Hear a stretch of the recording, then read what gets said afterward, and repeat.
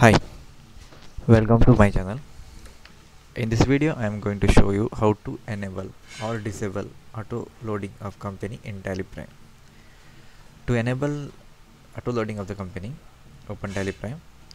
In this, uh, go to help button or just press F1. There is an option. Go to help and here is an option setting. Click on that one and startup. Select here the load companies on startup. Make this option as yes by pressing enter button. And select the companies which you want to load automatically while opening tally prime. Just select the company which you want to load. Just enter end of list and escape. Now now onwards that company which have you selected it, it is going to open automatically.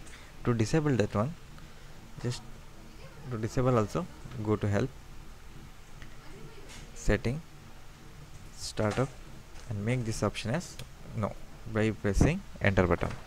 Just press escape or control a. Now notice that company which you have uh, no companies are going to open directly while opening tally prime thank you friends for watching and please subscribe my channel for more videos. Thank you